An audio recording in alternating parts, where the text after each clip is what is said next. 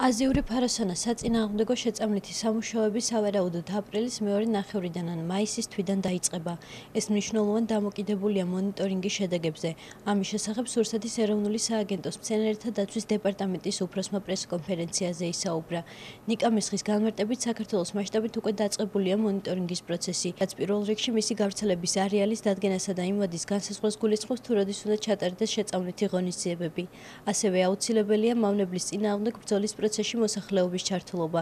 სურსათის ეროვნული სააგენტოს თანამშრომლები შეწამლავენ როგორც სახელმწიფო საკუთრებაში არსებულ ფართობებს, ასევე არასაკარი მიდამონ დიდ ნაკვეთებს. ისეთ ადგილებში, სადაც სპეციალისტები ვერ შეძლებენ ქიმიური საშუალებით დამუშავებას, ადგილობრივებმა სამუშაოები თავად უნდა განახორციელონ.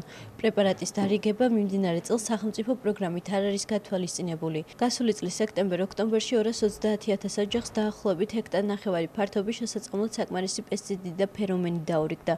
სახელმწიფოს როლი იზრდება და მეტი ჩართულობა იქნება მიმდინარე წელს ჩვენი მხრიდან ასევე მნიშვნელოვანია ძალიან ჩართული იყოს მოსახლეობა ამ პროცესში, რაც გულისხმობს თავიანთ საკუთარ ფართობებში ღონისძიებების გატარებას, რადგან ჩვენ მოვიცავთ როგორც სახელმწიფო საკუთრებაში არსებულ ფართობებს, ასევე გარკვეულწილად მათი ფართობებიც შეიწამლება ფერმერების, თუმცა თავიანთ ნაკვეთში, ანუ იქ სადაც ჩვენს მიერ ვერ მოხდება ფიზიკურად ღონისძიებების გატარება, მათაც განახორციელონ ღონისძიებები. არა მარტო ფაროსანას, არამედ სხვა ორგანიზმების წინააღმდეგ.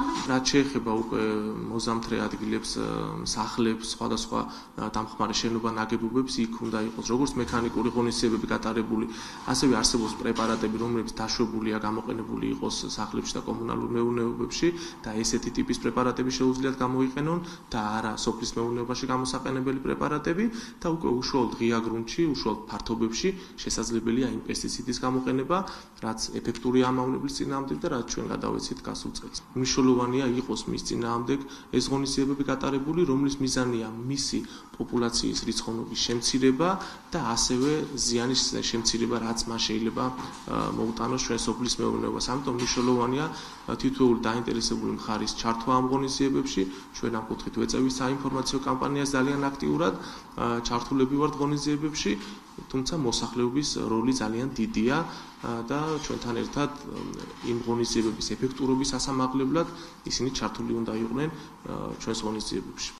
ნიკა მესხის თქმით უმამლების წინააღმდეგ ღონისძიებები დროულად არ გატარდება შესაძლებელია წლევანდელ მოსავალს მნიშვნელოვანი ზარალი მიადგეს რადგან ბაღლიჯო 300-ზე მეტ სახეობის მცენარით იკვებება